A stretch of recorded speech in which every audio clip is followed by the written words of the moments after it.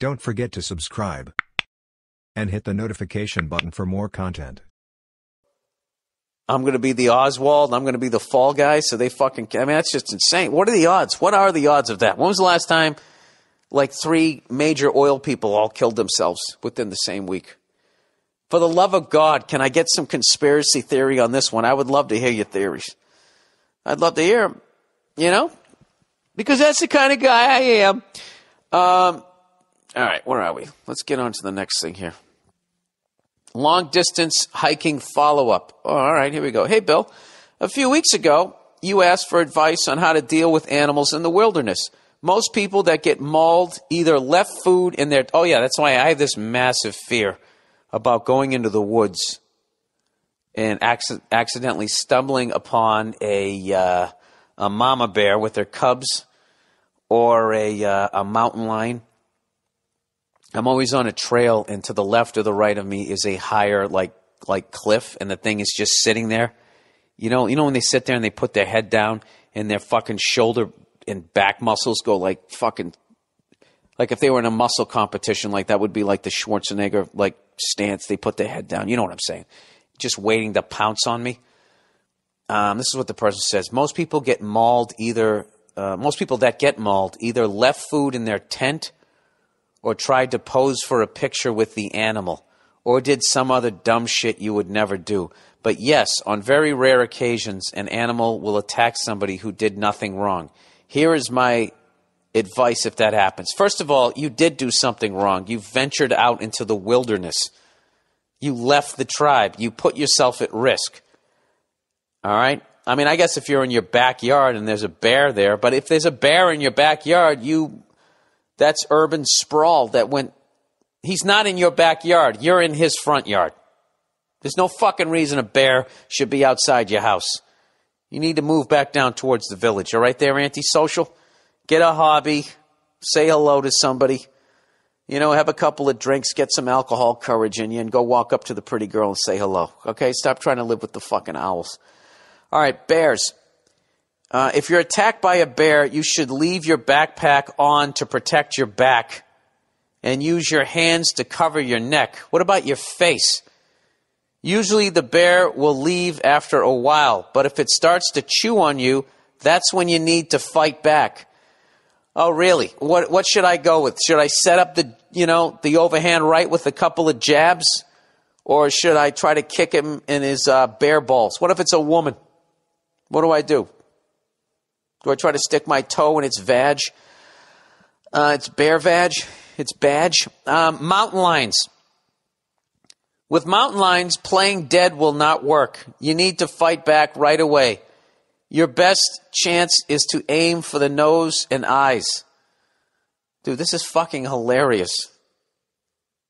I mean, I, I think I would have a. This is none of this shit work wouldn't work against Mike Tyson. Forget about a fucking bear or a mountain lion.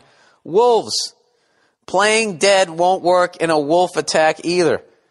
You can either climb a tree, put it in a headlock, or shove your fist down its throat. I'm not joking. Look it up.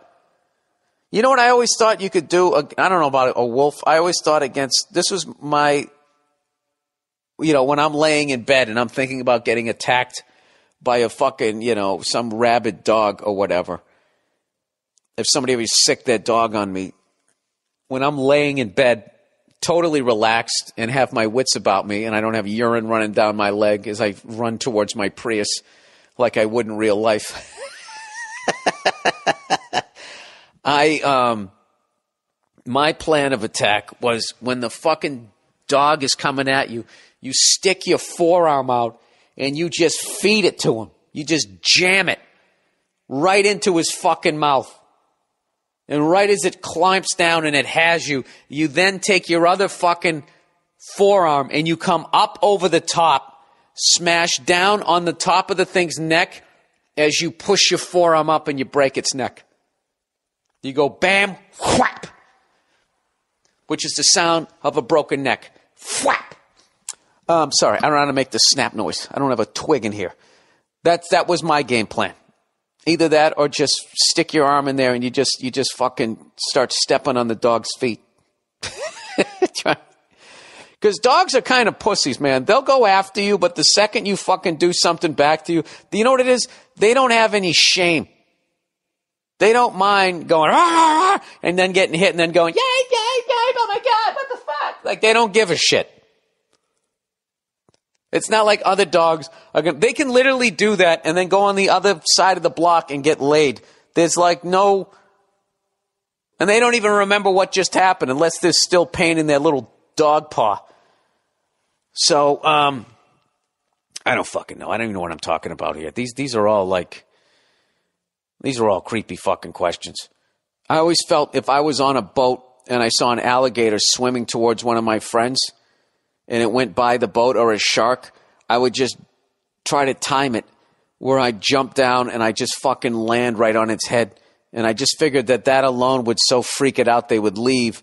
Or, you know, the shark or alligators would be, uh, would be feasting on two people. That's what I would be worried about after the, after the shock. You know, when the shark's like, what the, f- you motherfucker, when it's coming back, that's what I, I think. Like sharks, I think just leave. Alligators, uh, they just seem fucking relentless to me. Um, all right, killer bees. Here we go. With killer bees, Africanized honeybees, you're supposed to run away for at least half a mile. Now, this I know. Do not flail your arms and do not kill one. They will swarm you if you kill one. But honestly, they they look just like normal bees to me, so I don't know how to tell when you're in danger. Oh my god, run for a half a mile. For fucking half a mile. What's the fastest fastest mile I ever ran was like a 618 like freshman year in high school when I weighed about 140 something pounds. I'm now a buck 75. So I, I think I could run maybe a 7 minute even with the fear, just the pain is going to offset the adrenaline. That's going to be a long 15 minutes, people. Oh, God, can you imagine me? A balding, stung up, fucking swollen redhead. Just coming over the hill. Jesus Christ, what a sight. All right, spiders kill almost nobody. Most can be very dangerous if you catch them at the wrong time. Some snake bites obviously require immediate medical care, but I would be more afraid of lightning if I were you.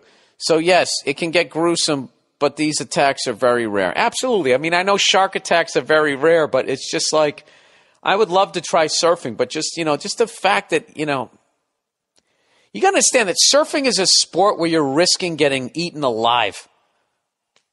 I mean, it's just fucking, I mean, it's just not worth it. God damn it, it looks like fun though, doesn't it?